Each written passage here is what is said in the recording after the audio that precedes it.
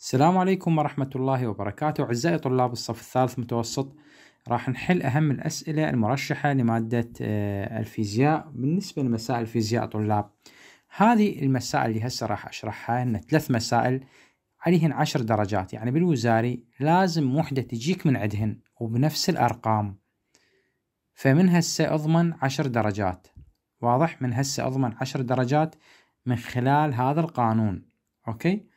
قانوننا عن القوة الدافعة الكهربائية اللي راح ناخذه هسه قانون سهل وبسيط.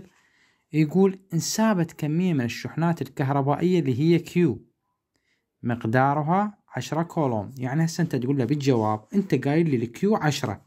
اذا هاي ال Q إيش قد تساوي لي؟ عشرة كولوم. هو ده يقول لي ترى ال Q عشرة كولوم. واضح؟ هاي وحدة. خلال بطارية فاكتسبت طاقة اللي هي W مقدارها عشرين جول. اذا ال W إيش قد مقداره؟ ال W عشرين. جول هاي المعطيات نطلعهن بكل سهولة. إذا عندنا ال Q عشرة وقايل لك ال W عشرين. جول. احسب مقدار القوة الدافعة الكهربائية ال emf يعني ال emf مجهولة. أنا راح أقول لك قانون بالعامية أحفظه من خلال هذا المثلث. من خلال هذا المثلث. ال W خلي لي فوق okay؟ حتى لا تنسى علامة ال W لي فوق وهو لازم يجيك هذا القانون emf في Q أنا أسميه قانون انفوك انفوك انفوك حتى لا تنساه خليه ببالك.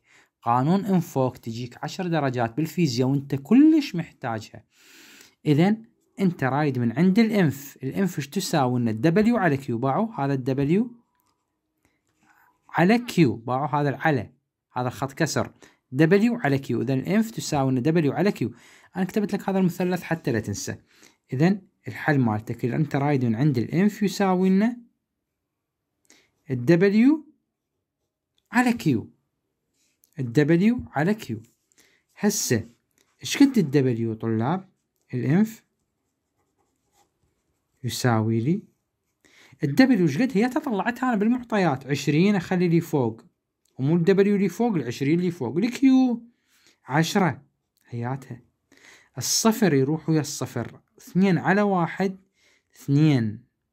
ال emf تقاس بالفولت. وهو كذلك. إحنا نعرف ال emf بالفولت. okay؟ فصار عندنا اثنين فولت وانت حصل الدرجة كاملة. بهذا السؤال بخطوة خطوتين فقط. هسه راح أحل سؤال آخر على نفس النمط ولا تنسون قانون انفوك. واضح؟ هسه راح يجي هذا السؤال كذلك مرشح وهو كلش سهل. يعني لازم يجيك لو الأول لو الثاني لو الثالث اللي راح أشرحهن هسه. احسب الشغل المبذول على شحنة متحركة مقدارها 2 كولوم. في دائرة كهربائية تحتوي على بطارية قوتها الدافعة الكهربائية ال emf مالتها تساوي لنا واحد point خمسة فولت. راح أكتب الحل وأجي اباوع احسب الشغل. يعني شنو الشغل؟ الشغل هو W ال W مجهول الشغل مجهول. على شحنة متحركة. الشحنة طلاب رمزها Q قبل شوية قلنا. اثنين كولوم. هسه وياي خلي ببالك. الشغل هو W الشحنة اثنين كولوم الشحنة Q. والقوة الدافعة الكهربائية ال emf هو قايل لك ترى ال emf هو هنا منطيك رمزها. ال emf تساوي واحد point خمسة فولت. هو قايل لك إياها. واضح؟ هسه شو أقول له؟ أقول له أنت تريد W أروح على قانون ما زال عندي emf. أتذكر انفوك. حتى لا تنسى القانون من تسمع بال emf. عذرا. emf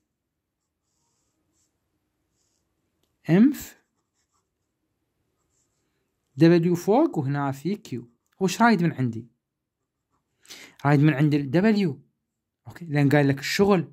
واضح؟ خليك خلي ببالك.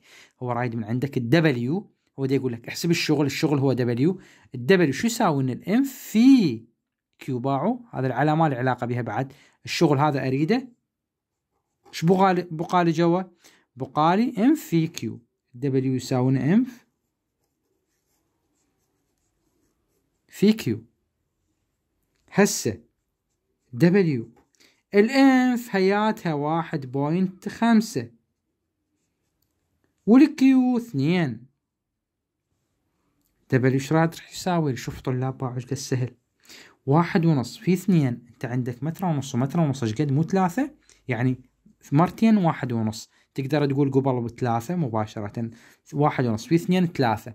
أو تقدر تضربها أضرب بدون فوارز يعني الفارز أعوفها. 15 في اثنين 30 رجع ال point ال point مو كانت هنايا؟ رجعها هنايا.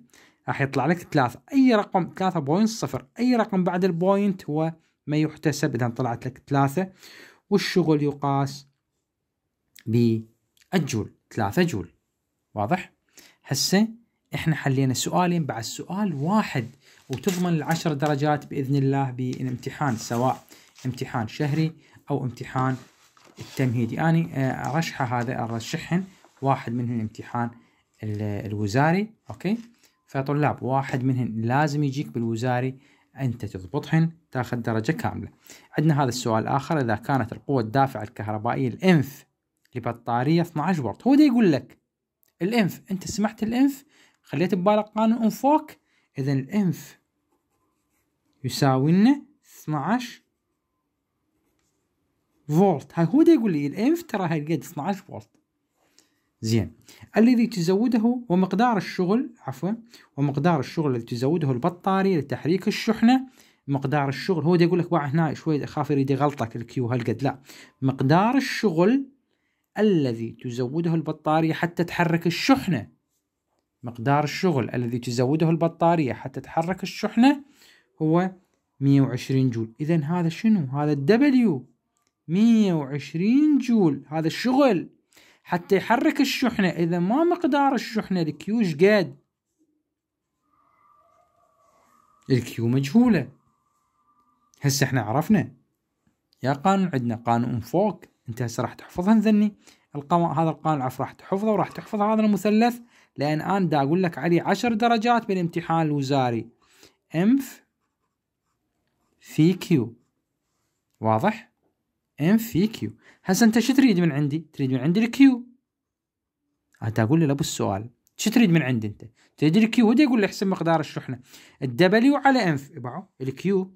الكيو إيش تساوي لنا دبليو. هذا خط الكسر على emf. اذا الكيو راح تساوي لنا دبليو على إنف. هسه.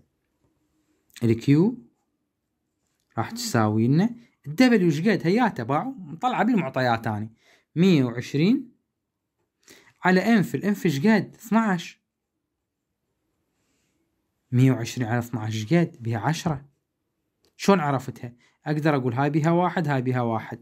واحد على واحد واحد والصفر ينزل. أو 120 على 12 ترى هي بها 10 يعني 12 في 10 120 اذا الشحنة تقاس بالكولوم. طلاب الأعزاء هاي الأسئلة اللي حليتها الثلاثة يعني لازم تجي من عندها آه لازم يجي منها عندها العفو سؤال هاي الورقة راح تلقونها بقناتي على التليجرام رابطها موجود أسفل وصف الفيديو وكذلك معرف التليجرام. أحيانا مو أحيانا آه، حاليا أتأخر احتمال بالرد عليكم على التليجرام بس أجاوب على كل المسجات لأن مسجات يعني مسجاتكم الطيبة هواية. فاتاخر بالرد مرات. المهم يعني تلقون هذه الورقة بقناتي على التليجرام رابطها موجود اسفل وصف الفيديو.